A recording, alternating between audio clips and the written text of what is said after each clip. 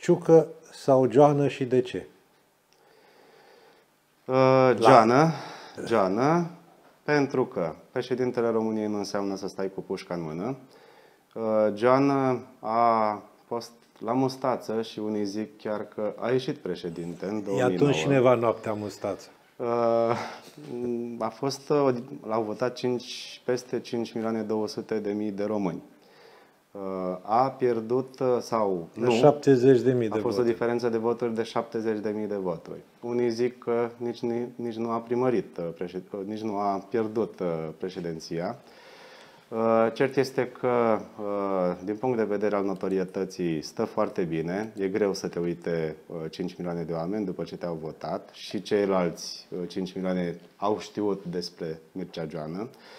Uh, Este românul sau uh, are o experiență relevantă, uh, uh, uriașă în uh, uh, diplomație, în relații internaționale și este românul care a ocupat cea mai înaltă poziție internațională într-o organizație internațională, secretar general adjunct al NATO. Din punctul meu de vedere este cel mai calificat și are cel mai bun profil pentru uh, funcția de președinte al României.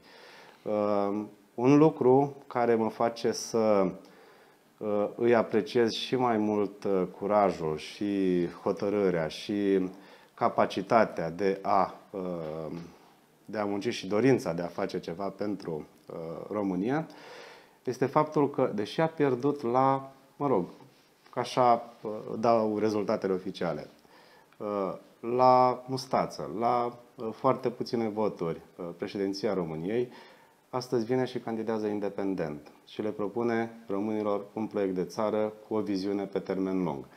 Uh, Dintr-o, dintr-un eșec înveți mult mai mult decât dintr-o uh, victorie. O spun pentru că am trecut prin așa ceva după un După o episod victorie- la fel de, uh, la fel de uh, dramatic, uh, aș putea spune, ca cel uh, uh, din 2009, doar că la o scară mult mai mică.